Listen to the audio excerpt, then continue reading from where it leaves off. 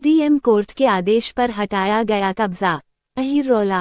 थाना क्षेत्र के फुलपुर तहसील अंतर्गत पारा गाँव में मंगलवार को लगभग तीन बजे नायब तहसीलदार फुलपुर अनुराग सिंह अपने राजस्व टीम के साथ पहुँचे थे, जहाँ बीते 2019 से भाइयों के बीच आपसी विवाद कोर्ट में चल रहा था। इसमें दो भाइया अच्छे लाल मौर्य व रामजीत मौर्य का आपसी विवाद को लेकर विवाद चल रहा था। मंगलवार को एसडीएम कोर्ट के आदेश पर नायब तहसीलदार अनुराग सिंह मौके पर पहुंचकर अच्छे लाल मौर्य के द्वारा बनाई गई कच्ची दीवार पर बनाई गई रिहायशी मंडी को जमीदोज करा दिया।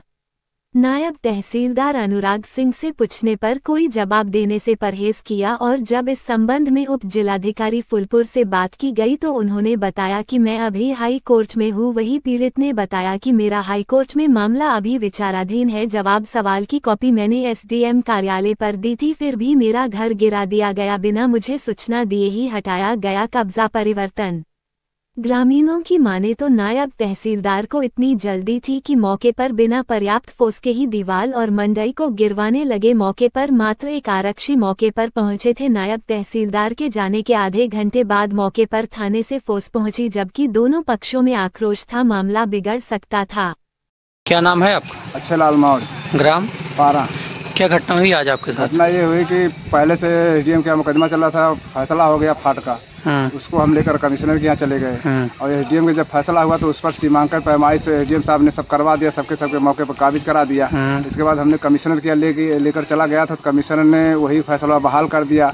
और जबकि कमिश्नर साहब ने ये नहीं लिखा की बेदखली का आर्डर की कोई आर्डर किया कि बेदखल किया जाए। और उसी आर्डर पे हमारा मकान गिरा दिया जबकि वो जब कमिश्नर साहब ने आर्डर कर दिया एसडीएम को बाहर कर दिया तो हमने मुकदमा लेकर हाई कोर्ट चला गया जबकि हाई कोर्ट मुकदमा विचाराधीन है। हाँ, और मेरे पास जवाब सवाल की कापी है मुकदमा विचाराधीन का। हाँ, उसके बाद हमने एसडीएम को दिया नेपाल को दिया मेरी सुनवाई कोई नहीं हुई कि मुकदमा चलता रहे। हाँ, इसके बाद सब लोग आए जुटकर फोर्स लेकर और सब हमारा मकान जो है मंडई जो है सब गिरवा दिए उसमें गाय और भैंस सब रहते थे। कौन सब लोग है ये रीता मौर्य रामजीत मौर्य विजय प्रकाश और गुड्डू।